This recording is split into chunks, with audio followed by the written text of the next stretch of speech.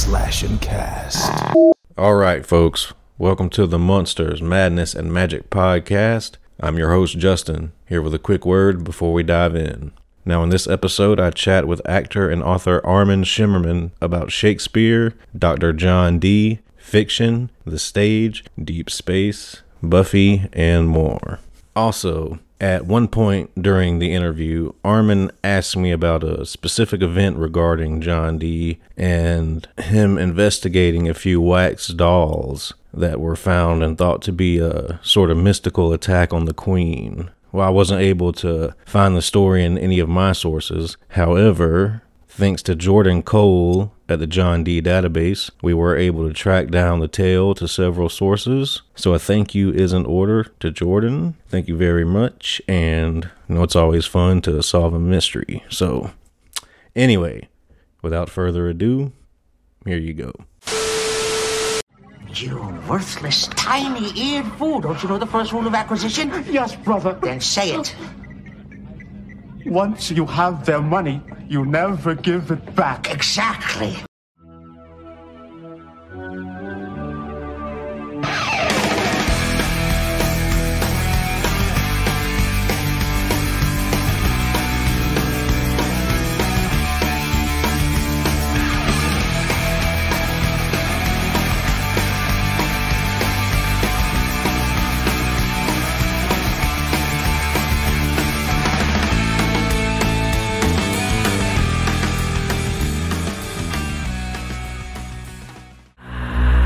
Boils and ghouls. This is your comrade, the Crypt Keeper here, reporting dead from the sanctuary of the strange. Tonight's macabre myth is a fright-filled feature, one overflowing with monsters, madness, and magic.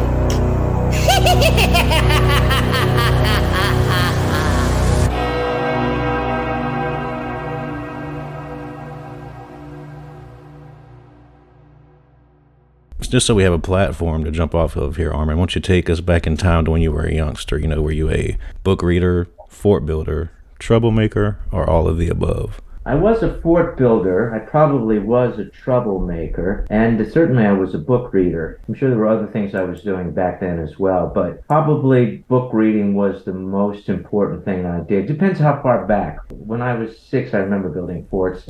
When I was 12, I was reading books. And probably that until now, I was a troublemaker. Books have always been a part of my existence. In fact, in college, I was an English major. I thought that I would go on to do something in that field. I once took an aptitude test when I was about 16, and they told me best job possible for me was librarian. I still think that's possibly something I should have done at one time or another. You know, fun, oddly enough, that's something I've always wanted to do as well. Librarian just seems super cool to me growing up. I get lost in libraries. One of the greatest discoveries I ever made, which I use in my book writing as well, was I got lost in a library at college and uh, I started at 10 and, and I was reading a book and before I knew it was 5 o'clock. I don't know where the hours passed, but uh, I was just in pig's heaven uh, reading that. Do you have a preferred genre or author, author you went to early on? No, I read a lot of books, a lot of classical literature. I didn't really read plays until I was in high school but I read a lot of young people's literature. I tended to be a somewhat of a social misfit, so reading was the go-to thing when I wouldn't get to pick for baseball teams or something like that. Certainly, I never got picked for a basketball team, that's for sure. Reading was a great pleasure for me, and I was surprised in the latter part of my life that I actually started to write and put some of the things that I had assimilated into my own handwriting never tinkered around with any short story writing or anything until you dove into your novels later on? When I was 12, I wrote a poem that got published. It got picked to be published, and that was my first outing as a writer. I didn't write any more poetry after that. No, no short stories. I think as a young man, with the help of a friend, we wrote a short play, but nothing to write home about. Couldn't have been more than six or seven pages, so it, it wasn't anything meaningful. I put all my artistry into performance when I had a lot of time on my hands while I was performing. Someone put the idea of writing into my head. That became what I did. So while we're on those uh, early years, when you think back, which films and shows and such stick out that sort of helped mold your creativity, so to speak? Well, certainly, I think science fiction helped mold my creativity. Ironically, I was a huge fan of Star Trek when I was in my teens. It's wonderful that came full circle and I became part of the franchise. Good films, films that had good writing in them and good acting in them uh, were ones that I was happy to see. I, was, I didn't like the, the sort of out and out comic ones. The, they weren't my métier, but serious films, especially what they were doing in the 80s, wonderful films from the 80s. That's what I became interested in. So, how about your parents? Were they involved in the arts at all? Is that sort of how you got ushered that way? My father was an immigrant from Poland. He wasn't involved in the arts at all. I think the first play he ever saw was one that I was in on Broadway and didn't much care for that, he told me. and uh, my mother was interested in the arts, but never a practitioner of the arts. She introduced me to museums and paintings and things of that sort, but she never did anything like that. Ironically, my first cousin has become a, a well known painter in Cleveland, so the two of us got the gene from somewhere. I, I know both she and my maternal grandmother her paternal grandmother, my maternal grandmother, was an outsized character, and I know she probably influenced my going into performance somewhat because she was so larger than life in a good and bad way. What's your cousin's name, the painter? Her name is Leslie Discount. She's been rising to fame in the last couple of years in Cleveland. I'm always amazed by folks who can draw or paint. It's always been something that just seems otherworldly to me because I can't draw a stick figure. Me too. I can't draw a stick figure either. I wish I had that talent, and I'm truly amazed when people do do that. Although I don't think my cousin uh, does much with stick figures. I think it's impressionistic, putting paint swatches together, and she does it very well. I'm sure she has some paintings that are realistic, but the ones that I tend to see and appreciate the most are just where she puts colors together in the most marvelous way. That's awesome. I'll have to look her stuff up. Please. So, Armin, do you have a eureka moment that you can point towards where your own personal interest sort of arose in the arts? Maybe a specific play you saw or something? I do. I um, was dragged into acting in high school by my high school teacher. His name was Mr. Jellison, Gene Jellison. And he cast me in a play called The Crucible by Arthur Miller. And I think in high school you did three, maybe five performances. I don't remember. But I do remember in one of those performances stepping on stage and an hour and a half went by. And I suddenly realized that an hour and a half had gone by and I don't remember living that hour, hour and a half. I, I, was so immersed, I thought I was anyway. I was so immersed in playing the character that all reality had seemed to have disappeared, and I was just caught up in what I was doing as the character. And that was the first drug, if you may call it that, mm-hmm. that got me addicted to performance. I remember thinking that was swell, and I wanted to do it again and again. And I, over the course of many, many years, I've only been able to recapture that sort of thing a handful of times. And I've done thousands of performances. Losing oneself for an hour and a half hasn't come very often. But it was an aha moment. And I went, oh, this may be something I want to do. So, was that your very first time on stage?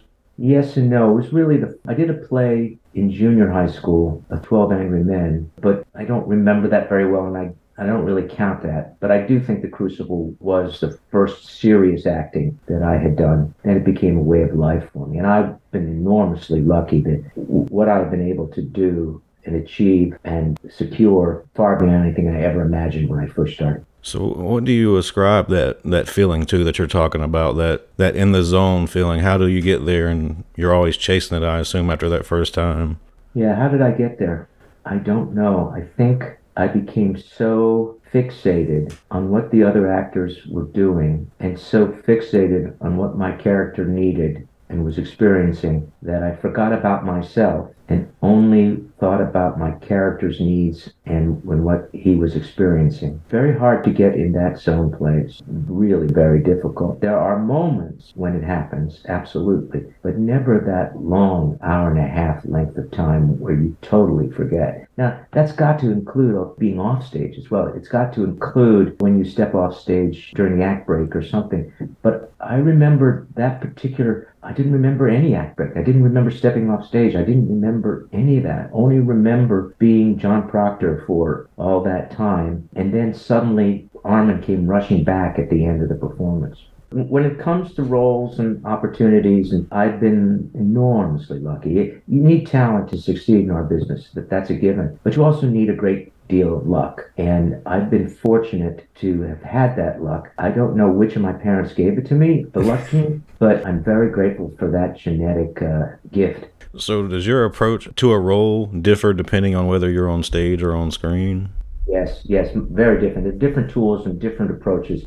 It took me a while to learn the difference because I started out as a stage actor. I went from high school to college to professional theater in a blink of an eye. I, I, really didn't have any gaps. As a professional theater actor, I started in my mid 20s pretty much on Broadway. I pretty much started my professional career as an actor on Broadway. And I learned to be a little larger than life on stage, especially with theaters of that size. It was a learning curve to moderate what I was doing in order to act comfortably and believably in front of a camera. I'm still learning to do that. I'm still learning less, less, less, less. At this point in my life, I do much more theater acting than I do TV or film acting. Oh, I'm sure you're still active in theater. Oh yeah, yeah. I did a play this past summer, a very popular play called "The Play That Goes Wrong." I did that in Kansas City. And prior to that, I did uh, three Shakespearean plays in Utah. I help run a theater in Los Angeles. I direct plays as well. So I'm very much involved with the theater. The theater is where I feel the most comfortable. It's always, I'm a little fish out of water when I'm in front of a camera because I still have, don't believe that I've gotten it to the place where it should be in front of the camera. Is it something along the lines of I've spoken with a lot of actors who consider themselves theater actors and they have a trouble toning themselves down for the cameras? That what you would that's, say?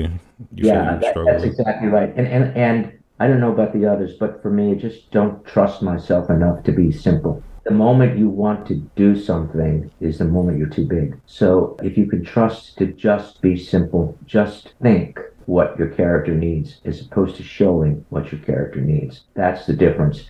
But it, on stage, you can't just think it's too small for the stage. So you have to show people what you're thinking. And although I'm constantly relearning that lesson over and over again, it still hasn't stuck well enough for me to be comfortable in front of the camera. Out of all your stage roles, what would you say are your personal favorites if you had to pick a handful? Well, I am by nature a Shakespearean scholar, so the ones that I would pick are the Shakespearean roles, and I've done about, I would say, a third of Shakespeare's canon, some plays many times. Roles like Polonius, which I recently did as in Utah, or Claudius, which I haven't done for a while. I've done that several times.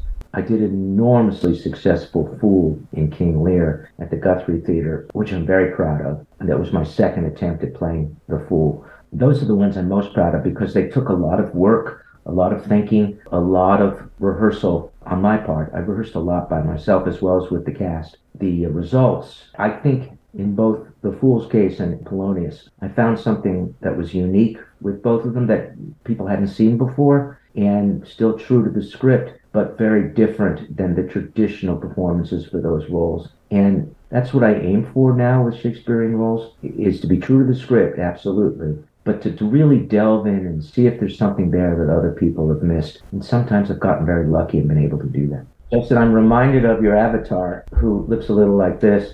Yeah. Uh, who is the lead character in my novel. So Oh yes, I definitely have questions about that. While we're on the subject, I pulled this out because uh, Lisa informed me about your novels, and I looked into them. My wife got me this last Christmas. I don't know if you can see what this is, but this is the oh, Dr. John Dee. Yeah. yeah. And what is the collection about? Uh, what is it? The complete. This, Mystical Records of Dr. John Dee. Yeah. Yeah, I got the whole thing right there. I've actually done a whole. envious, Justin. I would love to have that. Oh yeah, yeah. I married a good one. So while we're on the subject, how did you come across Doctor Dee? Well, I'm embarrassed to say I should have known about him earlier because, as I said a moment ago, I am a Shakespeare scholar. I've been studying not only Shakespeare but his period of time for a very long time. I would have guessed The Alchemist. The the play is where you would have heard of him if I were guessing. Exactly, or or Prospero for that matter. Hmm. from episode. But I I didn't learn of Dr. John Dee until I would say the middle '90s when a, a, a wonderful writer named Michael Scott, who was my co-writer on my first novel, the Merchant Prince novel, and he had known about Dr. John Dee. And in fact, he's a prolific fantasy writer, and, and he has written about John Dee too. And he introduced me to that wonderful man. And uh, if I could turn the computer sideways, which I can't, you would see that I have a whole bookcase full of John Dee books about him, books that he's written that I've been studying for a great long time. I've become almost as familiar with him as I am with, you know, what my brother does for that matter. But Michael, intro- while we were getting, my wife and I were in Ireland visiting, and we visited with Michael, who lives in Ireland he introduced me to John Dee at that time, and, and I've been studying him ever since. A couple of years ago, I made the trek out to Mortlake hmm. just to see where he lived, and I think that all that exists of his house now is, is one single wall. It was, you know, it was like going to some hallowed place, and I, I'm sure I made a sacrifice of some sort. But, Just stumbling across the story of John Dee and Edward Kelly. Anybody who's interested in the odd and the occult will just be sucked into that. When along that uh, line did you start to tinker around with your ideas for your novel? Well, before writing the um, Illyria trilogy, I started out with Michael. We, we came up with this idea for a trilogy called The Merchant Prince, which I completed. First book I completed with Michael in collaboration with him, and then uh, second one Michael disappeared. I did the second one in collaboration with Chelsea Yarbro, a wonderful fantasy writer, and then the third book I wrote by myself. So that was in the 90s, turn of the century. I did those three books during that period of time. But at that lunch in Ireland that I just referenced, Michael suggested this idea of Shakespeare and Dee together solving crimes along with the characters from the various plays.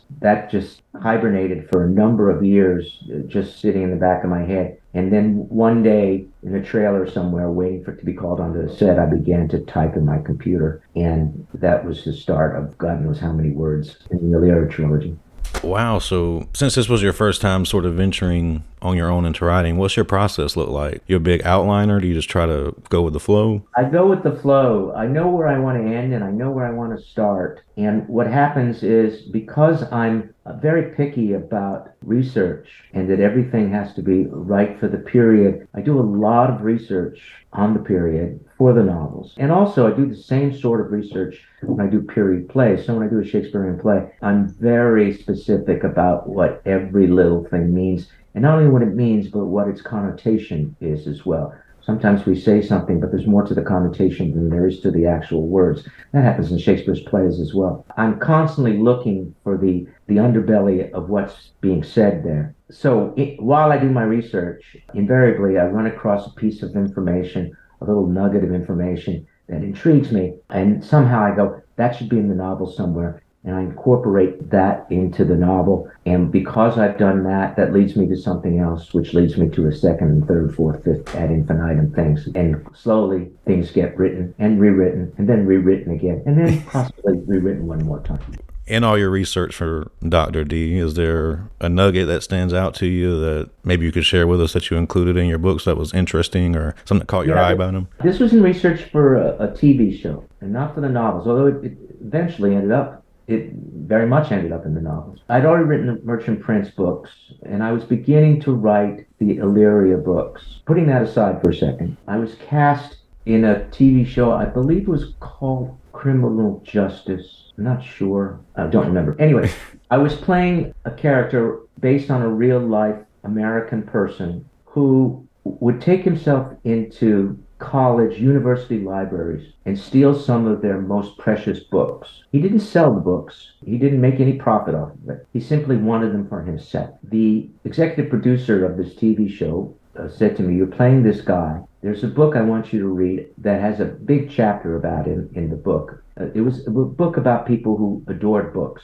bibliophiles. So I read the chapter about the character and, and was, you know, inspired by that as for the role that I was about to play. But there was a chapter in the book about John Dee as well, which the executive producer never cared whether I read or not. But I read it, of course, and there's a little section in that chapter where it talks about Richard II, which is one of Shakespeare's plays, being inspired by a French poem called Trezent, and that a lot of the language from Trezent, translated into English, can be found in Richard II. There was a little star, a little asterisk after that paragraph, and I went down to the bottom of the page and it said Trezent is the inspiration for parts of Richard II. However, the only person who had a copy of Trezent, the French poem, in England was Dr. John Dee, which meant that Shakespeare had to be going into John Dee's library in order to read that poem. One doesn't know how much French Shakespeare had, but he would probably have needed someone to translate it for him as well. So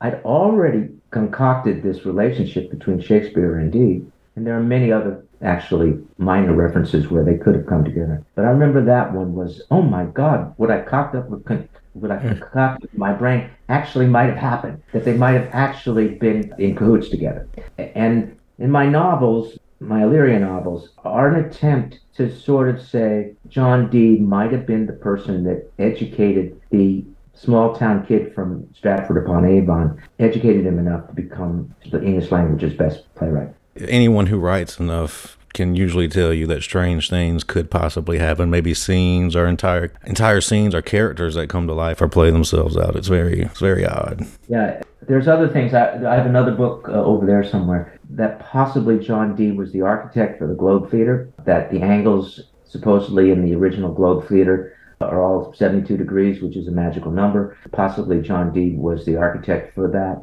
And of course, there is a great swath of knowledgeable people who suggest that John Dee is the uh, prototype for Prospero in The Tempest. People often ask me, "Are you going to write anything else?" And I've been I've been dabbling with an idea that of an incident that happened in John Dee's life, and I'm I'm just actually trying to find out what year it took place. Maybe you can help me.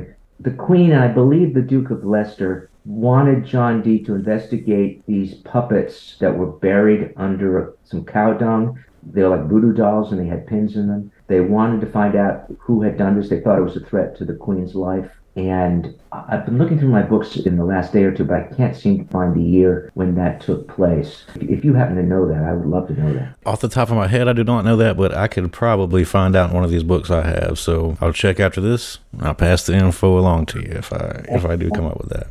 But just switching back to uh, acting briefly, how did the transition from stage to screen happen for you? It was an accident, like most things in life. I was doing a play in New York City, where, where as, as I said, I was working on Broadway. I was also working in, in regional theater at that time, too. Regional theater or theaters outside of New York. And but this theater was off Broadway. I don't remember the name of the play. The agent called while I was in rehearsal for the play and said, "We have an audition for you for TV pilot, and you have time to take off from lunch or so, and do the audition." And I did, and I didn't think twice about it. But really, I never thought, with a face like this, I, I never thought that I would be on TV or film. I, I was quite sure that uh, my life would always be in the theater. But I went and did the audition. A couple of days later, the agent called back and said they they want to see you again. I said, well, it's going to be hard because you know it only happened during lunchtime. And he said, no, they want to fly you out to Los Angeles to audition for the producers and the network for this pilot. They offered me a good sum of money. Not a great sum, of money, but a good sum of money. Good enough, right? I know. There, so there was nothing I could do but say yes. And so they shipped me out to Los Angeles and I auditioned for this TV pilot called Bulba. And lo and behold, I got cast in Bulba, and I worked on the pilot for about 10 days. It was very different than working on stage, and the salary was much, much better. But I sort of got seduced by the work, the work hours, for one thing, and the amount of money they paid me. And fun. It was a great deal of fun. Uh, I was working with a lot of stand up comics in this Bulba pilot, and uh, I laughed for the 10 days, just laughed continually. I, I, since I was not a stand up comic, they realized I was the person they had to tell the jokes to because I wasn't going to come back and rival them. And when I came back from those 10 days in Los Angeles, I told my future fiance, now my wife of 42 years, that maybe we should try LA because my God, things were so fantastical. And so we moved out a year later to Los Angeles only to try it. We were going to stay for six months. It is now 42 years plus, maybe 41 years plus. I'm still here, you know, waiting to go back to New York. So that, that's how I, I, got seduced into it by Bulba. Yeah, there you go. Uh, before we go too far, you reminded me, Armin, you worked with a friend of mine on Arena in 1989. He Jeff Farley did makeup on that movie, and I, I told him I was going to be talking to you. He told me to say hello, and he gave me a picture to share with you of you two from behind the scenes. I'm going to sh- uh, share my screen with you so I can show it to sure, you. Sure. Yeah. Yeah, Weasel is. I always say Weasel was the prototype for Quark. That you know, used to uh, lots of makeup, and Jeff and I used to show up uh, in the building outside of Rome. Was shot in Rome at four in the morning. Nobody else was there, and he'd start his magic, and I'd just sit there and go over my lines. There was a wonderful recurring character on Deep Space Nine. Uh, the actor's name was Marc Alaimo, and Marc also was in Arena. And Marc, actually, the character he played in Arena was very similar to the character Gul Dukat that he played in, in Deep Space Nine. And Weasel, as you can see from that picture, had a lot of in common with Quark. It was sort of a, our apprenticeship for the future science fiction roles we would do later on. We were in Italy for about two and a half months we got two weeks off for Christmas where we didn't have to stay in Rome. Everyone should be so lucky as to get a, a paid vacation in Italy. Did you meet Charles Band any, uh, while you were there? Was he on set uh, at all? No, I may have met him when I auditioned for the role. He may have been in the room, but he never, that I know of, came to Rome. So I can't say for sure. I just wanted, I had to say hello for Jeff. Please give him my regards back. I will, definitely, for sure. He gave me a gift when we were doing it that I still have. It's around here somewhere. It's a, a mold, a head, similar to this actually, but in a different material of Weasel, and I still have that and remember the, the good times, really good times we had. yeah, Jeff is modest, but he's a master at what he does. Yes, he is. So my first experience with your work personally was your role as a Principal Snyder on Buffy. Mm-hmm. Was that a typical audition for you, or was it a right place, right time situation? Well, ironically, it wasn't. It wasn't an audition. I auditioned for Flutie, which was the principal before Snyder.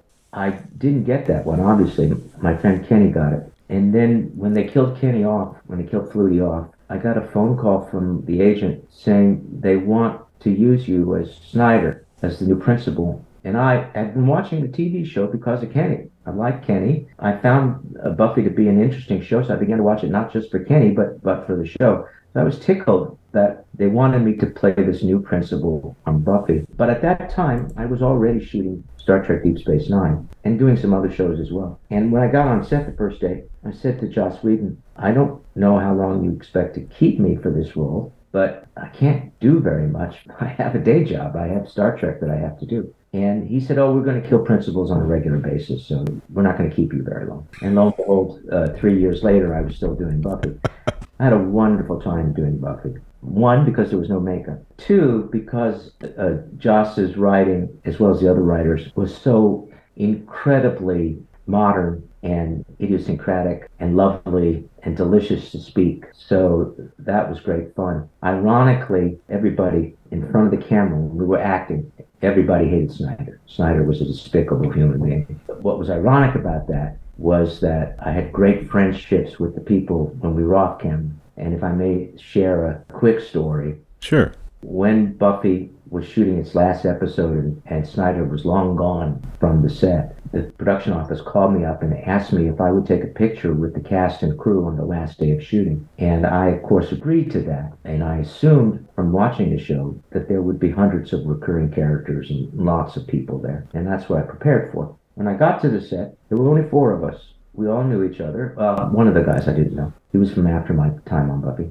And we said hello to all the people on the set. We caught up, warm hugs. As I'm walking back to my car, I'm walking with Joss Whedon, and I told him what I just told you. And I, I asked him, I said, I expected a lot of people. Why were there only four of us? And he said, Because, Armin, you're the only four people that all of us liked. The irony was they all hated Snyder, but they all liked Armin. And you know, Snyder is a great character to hate. He has one of the best deaths on the show. a death I asked for, actually. Really? Yeah, because uh, my friend Kenny, who played Flutie, was eaten by a hyena When I realized that they were moving on from the high school to college, they certainly didn't need a high school principal anymore. So I knew my days were numbered. I said to the powers that be, I want to be eaten. I want to, just like Flutie, I want to be eaten. And it's a lovely moment, you know, where I'm facing the dragon and saying, "This is my this is my campus. You, you have to get out of here." And then swoop, he takes a big gulp. And, It's a well deserved death. a well-deserved death. Other actors that I've spoken with that have appeared on Buffy, James Marsters and Harry Groener, your coworkers, say pretty much the same thing that you say about Joss's dialogue and his writing. Now, you've worked on a lot of TV shows. Did his writing really stand out that much to you as different from others? I mean, obviously Buffy is successful, but so that's clearly something he's very good at. yeah, what what Joss and the others, Jane Espenson, Marti Noxon, what they were able to do was somehow catch the flavor of adolescent speak at the time that the show was airing. And that's what really caught my attention. You know, my bad has become part of my vernacular. I had never heard that until I was uh, on Buffy. Um, now, a lot of people use it, not just me. It was things like that, that you would hear something and go, oh my God, that's just how people speak. That's just how kids talk.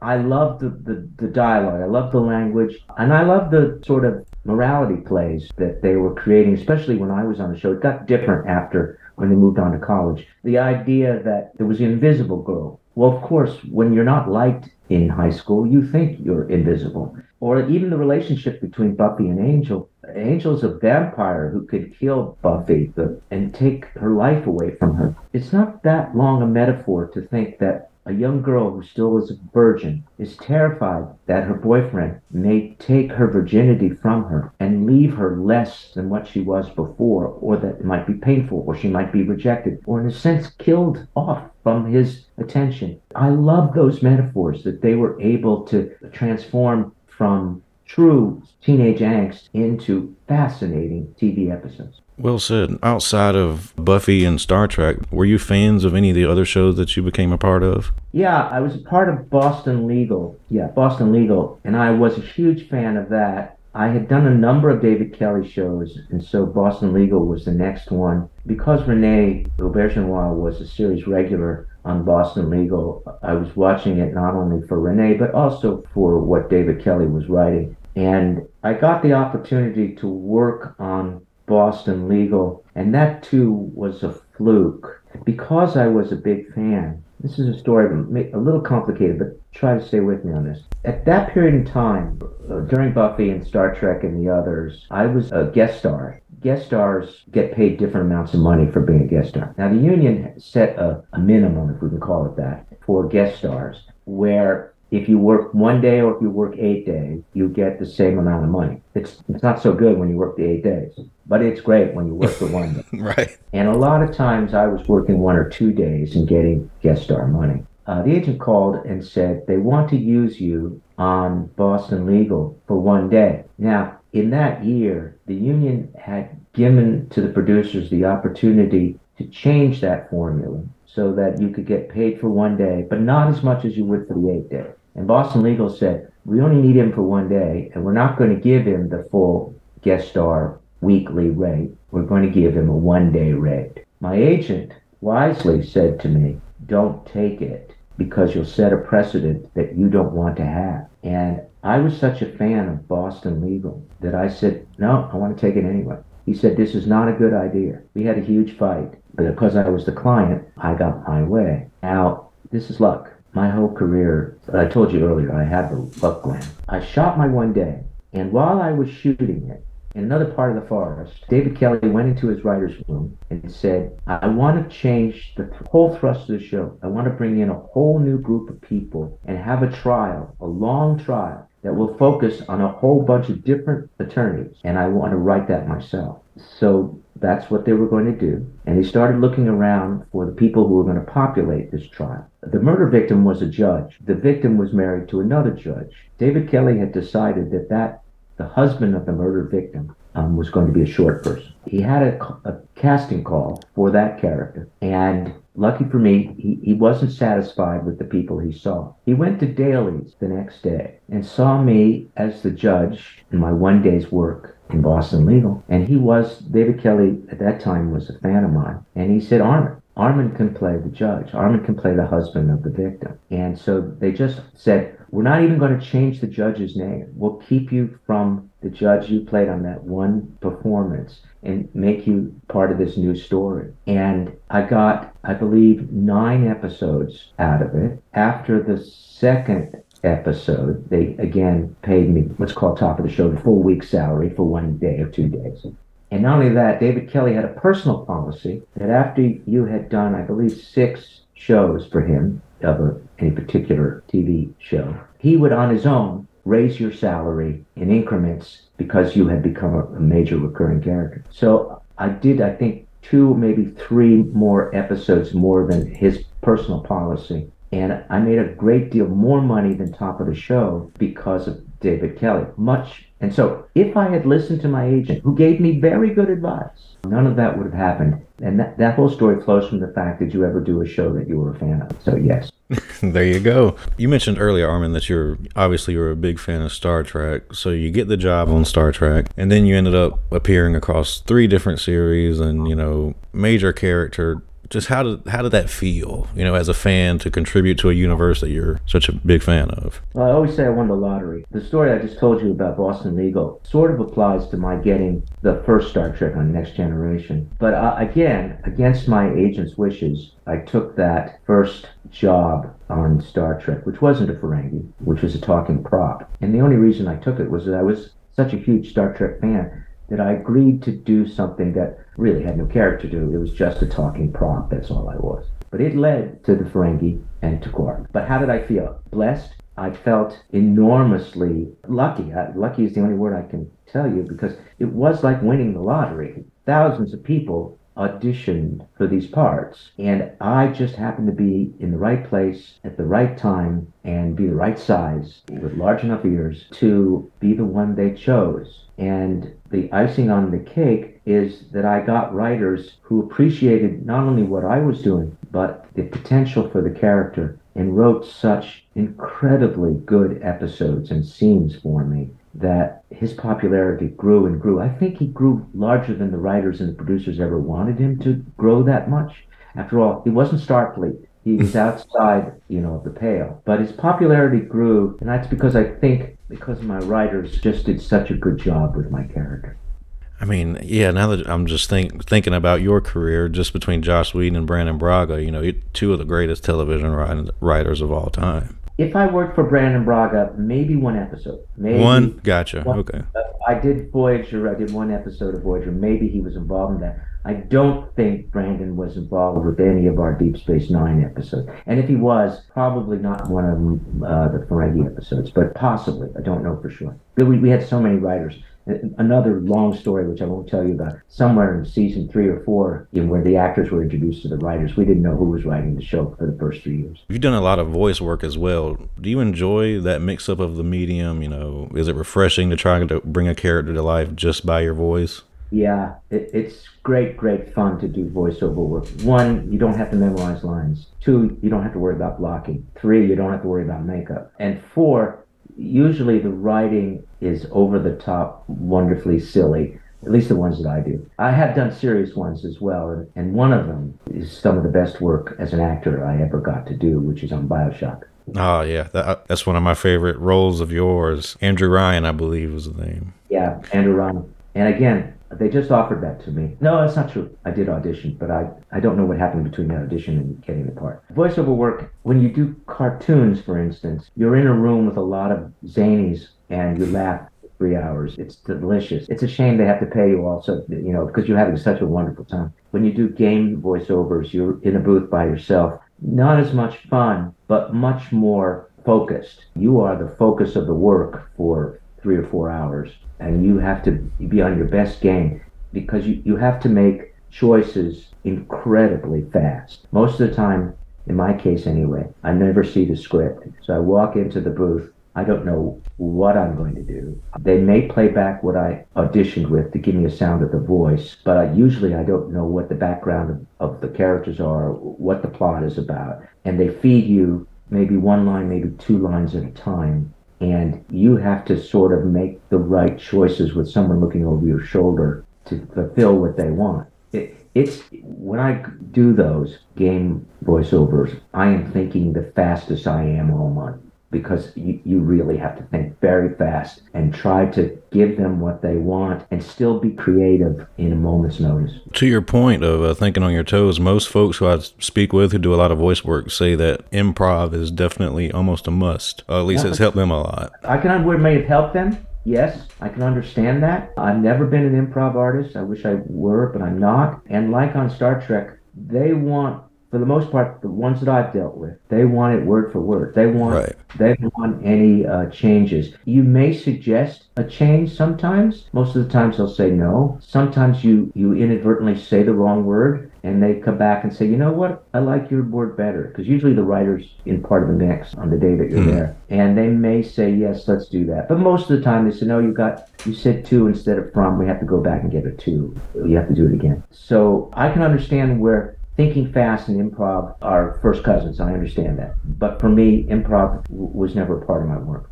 So, Armin, when you reflect over your career, you know, stage or screen, is there a role that stands out that was particularly challenging? Maybe one you lost sleep over, pulled your hair out over, something like that. Uh, I lose sleep over all the roles, at least all the stage roles, and certainly the TV roles. For the TV roles, I go back to what I said to you before. I, I never think that I'm I've gotten the technique exactly right, so I fret over that. On stage, you have a month or more to sculpt your performance, and if you're not dreading how to do it better, then you're not really a very good actor, in my opinion. So I'm always fretting over them. Are, are there any ones that were harder than others? They're all hard. They're all hard. They're all hard. I, I can't remember ever breezing through any anything.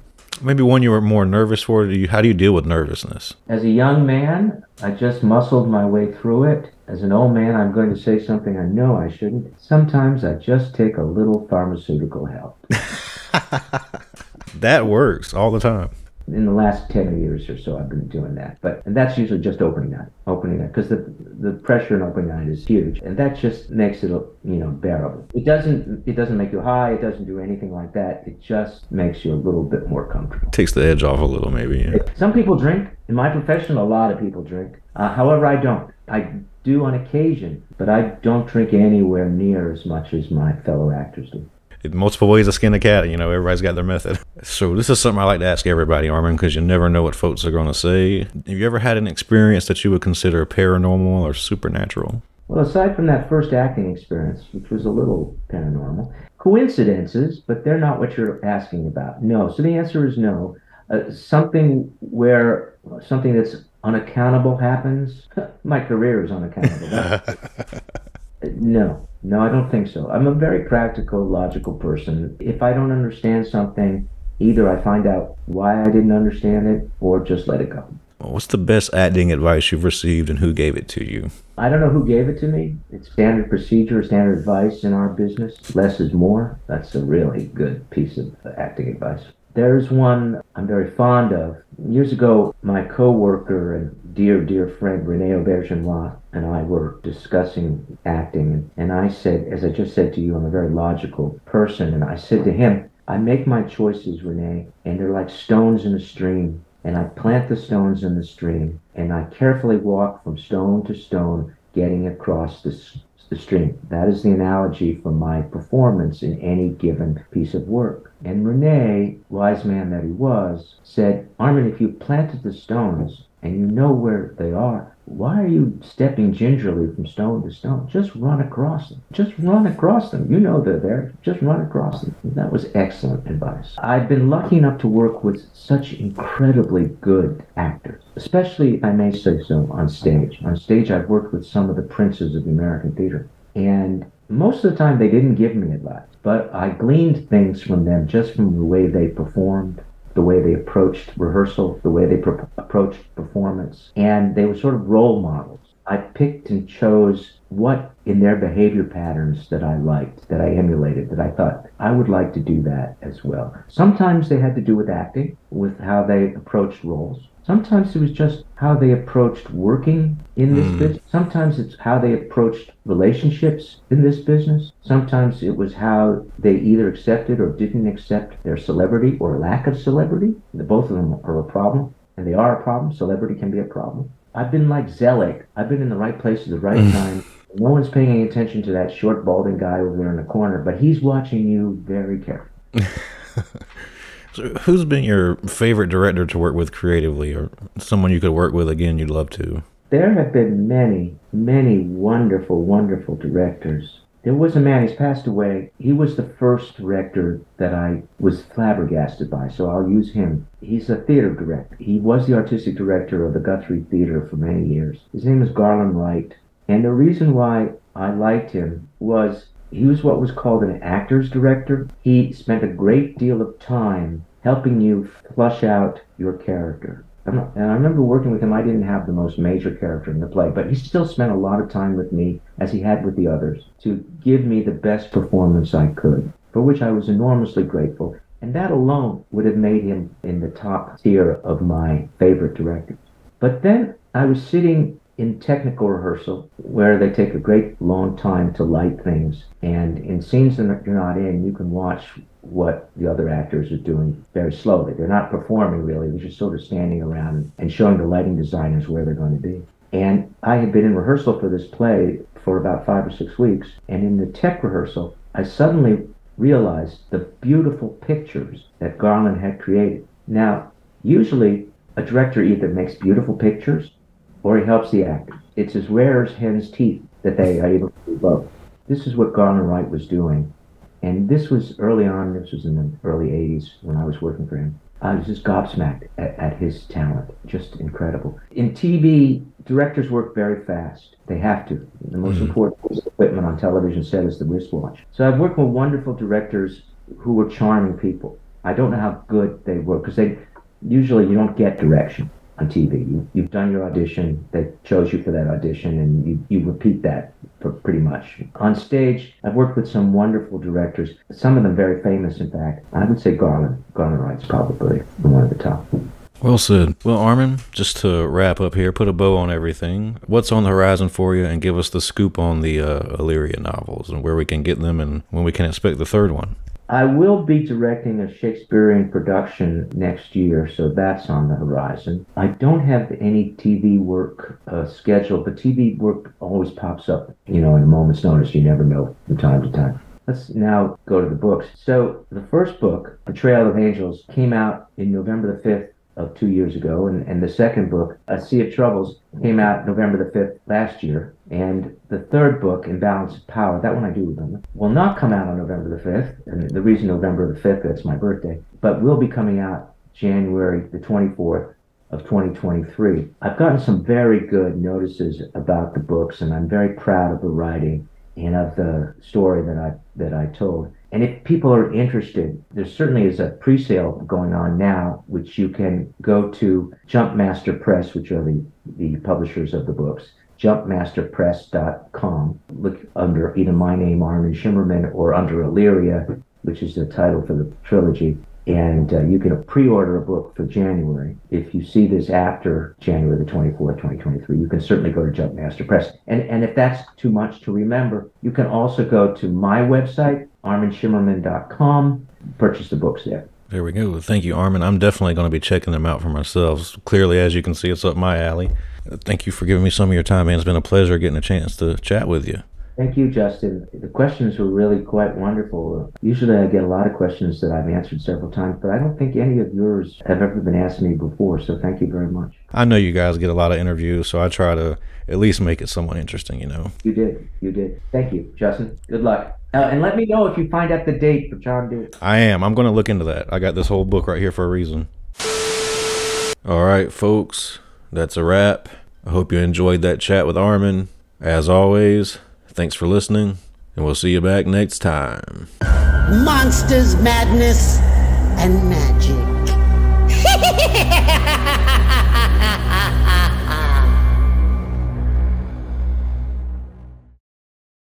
Welcome to the night. You think you know Night Demon? Then the Night Demon Heavy Metal Podcast is for you. Step into the darkness as we peel back the curtain to give you an unprecedented, all access look into the mind and the heart of the demon. We're talking band history, song analysis, studio anecdotes, stories from the road. It's everything a die-hard Night Demon fan could want and more. This is the only place to learn the inside scoop, the deep dive trivia, the untold tales from the band members themselves and those closest to the Night Demon story. Need more? The sacred Night Demon Crypt will be pried open to reveal demo recordings that have never before seen the light of day, all with in depth commentary by the band and the people who were there for the writing and recording process. This is a gold mine, a treasure trove of all things Night Demon. Head over to nightdemon.net or wherever you listen to podcasts. Listen to podcasts. Listen to podcasts.